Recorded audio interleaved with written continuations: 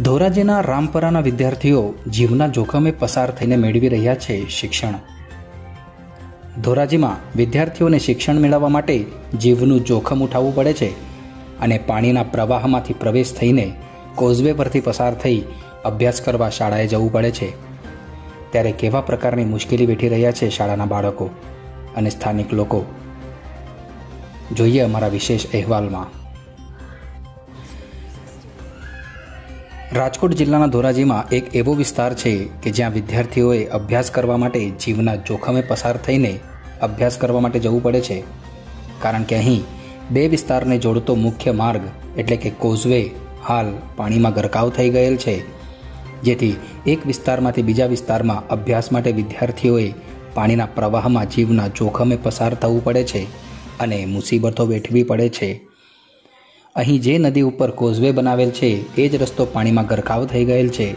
ત્યારે ગરકાવ થયેલ આ રસ્તામાં જે નદીનું પાણી વહે છે, તે નદીમાં મગર, સાપ તથા અન્ય જીવો રહે છે, તેવું પણ સ્થાનિકોએ જણાવ્યું હતું. ત્યારે કોઝવે પરથી નીકળતા ચાલીસથી પચાસ વિદ્યાર્થીઓને અત્યંત જોખમ અને જીવ હાથમાં લઈને નીકળવું પડે છે.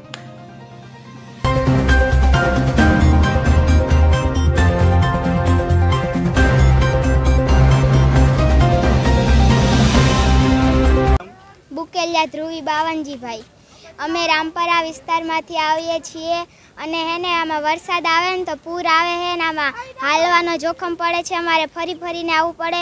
ત્રણ વર્ષ પહેલાં આમાં મગર આવી હતી તો પંદર દિવસ અમે ભણવા નહોતા ગયા અને થોડું થોડું પાણી હોય તો ભણવા જવું પડે અને હે ને ક્લાસમાં હે ને ભીનું થઈ અને બેહવું પડે હે.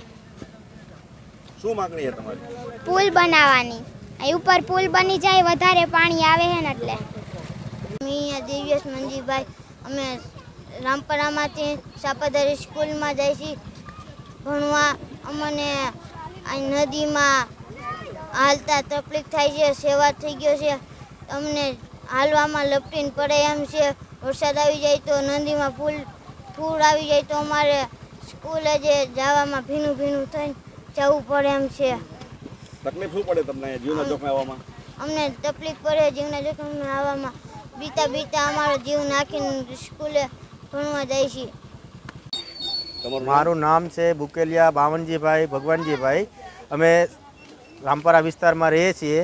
અમારું ગામ છે ધોરાજી અને જિલ્લો છે રાજકોટ. અમારા છોકરા અહીંથી અવારનવાર ભણવા જઈ જઈએ છે.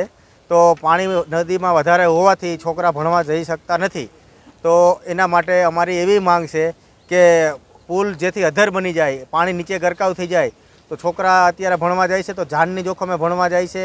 અવારનવાર અહીંયા સેવારમાં લપટીને પડે છે તો ભીના કપડાં થઈ જાય છે, ભીના ચોપડા થઈ જાય છે તો ભીના કપડે છોકરાઓને સ્કૂલમાં બેસવું પડે છે.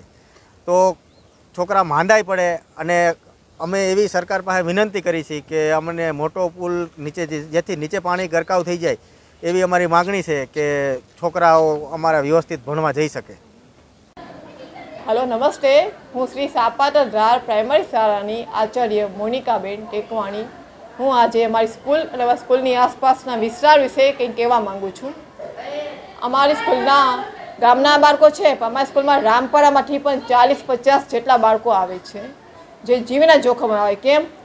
જ્યારે ચોમાસું હોય ત્યારે અમારે ખાસ જીવનું જોખમ કહેવાય. કેમ? કે ચોમાસામાં જ્યારે અમે સ્કૂલમાં છોકરા હોય અને વરસાદ ફૂલ પડે ત્યારે વાલીને ખાસ અમે સજા કરવું પડે કે એ વરસાદના નદી અમારી આડી એવી નરે ફૂલે ફૂલ પાણી ભરે છે, છોકરાને જવું અને આવવું એટલું ભારે પડી. વાલીઓને ખબર હશે ને અમને અમને ખબર છે, રસ્તો એટલો ડેન્જર છે. અને એ છોકરાની એ સમયે, વરસાદ સમયે અમારી વાલીને એટલે કહેવું પડે કે આ છોકરાને સ્કૂલે મોકલતા નહીં. અથવા છોકરા પાંચ છ સ્કૂલે આવતા નથી. એના કારણે એનું ભણવાનું એટલું બગડે જ હાજરી પૂરા અને છોકરાને એટલું ભણવાનું બગડે જ છે પાંચ છ દી. વરસાદમાં જોયું, આપણે હાલમાં કેટલો સારો વરસાદ પડ્યો આ લોકો કેટલા સમયની ઘટના છે? છોકરા રામપરામાંથી કાયમ આવતા. આ ચોમાસાની ઘટના કીધી. એમ ઉનાળો, શિયાળો, પાણી કાયમ નદીમાં હોય છે. એ છોકરાઓને અહીંયાથી હાલવું, આવવું કેટલા હેરાન થતા હોય આપણે ખબર છે. તમને ખબર છે ગામના લોકોને અહીંયાથી કાયમ જતા હશે? ક્યારેક ક્યારે આમાં શિક્ષકો અહીં જતા હોય ને નદીમાં અડધી ગાડીનો પાણીમાં ડૂબેલી હોય. એટલે એને જીવના જોખમે જ જવું પડે, જીવના જોખમે આવવું પડે. અને એ કાયમનો રસ્તો આવવા જવાનો છે. તમે શું, તમારી શું માંગણી છે અત્યારે? અમારી માંગણી છે એ પુલ થોડોક ઊંચો કરાવી દે, એટલું કરે કે રસ્તો અહીંયાથી બનાવી લે ને છોકરાને આવવા જવામાં સારું રહે. ચોમાસામાં ખાસ એ તો નુકસાનકારક છે. એટલે સરકાર આના માટે કંઈક કરે, પગલાં લે તો સારામાં સારું.